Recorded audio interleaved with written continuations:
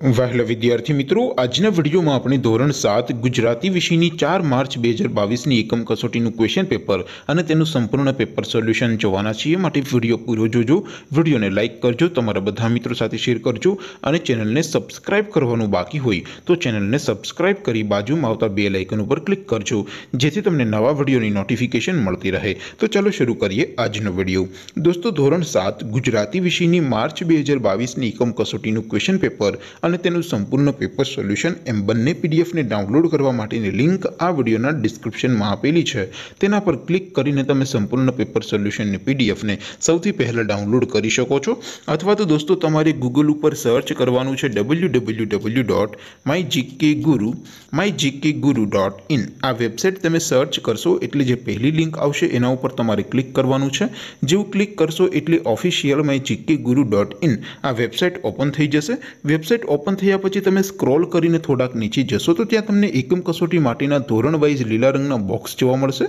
દોસ્તો અહીંથી તમે કોઈ પણ ધોરણની બધા જ વિષયોની એકમ કસોટીના ક્વેશ્ચન પેપર અને તેના સંપૂર્ણ પેપર સોલ્યુશનની પીડીએફને સૌથી પહેલાં ડાઉનલોડ કરી શકો છો જેમ કે દોસ્તો અત્યારે હું ધોરણ સાત માટે બીજા બોક્સ ઉપર ક્લિક કરીશ જેવું ક્લિક કરશો એટલે નવું પેજ ઓપન થઈ જશે નવું પેજ ઓપન થાય એમાં તમે સ્ક્રોલ કરીને થોડાક નીચે જશો તો ત્યાં તમને ધોરણ સાત એકમ કસોટી સોલ્યુશનનું એક બોક્સ જોવા મળશે જેમાં દોસ્તો નીચે લખેલું છે એસટીડી સેવન ગુજરાતી એકમ કસોટી તેની સામે ડાઉનલોડ બટન છે તો એ ડાઉનલોડ ઉપર ક્લિક કરશો તો ધોરણ સાત ગુજરાતી વિષયની માર્ચ બે હજાર બાવીસની એકમ કસોટીનું ક્વેશ્ચન પેપર પીડીએફ ફોર્મેટમાં ડાઉનલોડ થઈ જશે તેની નીચે લખેલું છે એસટીડી સેવન ગુજરાતી એકમ કસોટી સોલ્યુશન તેની સામે પણ ડાઉનલોડ બટન છે તો એ ડાઉનલોડ ઉપર ક્લિક કરશો તો ધોરણ સાત ગુજરાતી વિષયની માર્ચ બે હજાર બાવીસની એકમ કસોટીનું સંપૂર્ણ પેપર સોલ્યુશન પીડીએફ ફોર્મેટમાં ડાઉનલોડ થઈ જશે તો દોસ્તો આવી રીતે તમે કોઈ પણ ધોરણની બધા જ વિષયોની એકમ કસોટીના ક્વેશ્ચન પેપર અને તેના સંપૂર્ણ પેપર સોલ્યુશનની પીડીએફને W W W dot my GK Guru dot in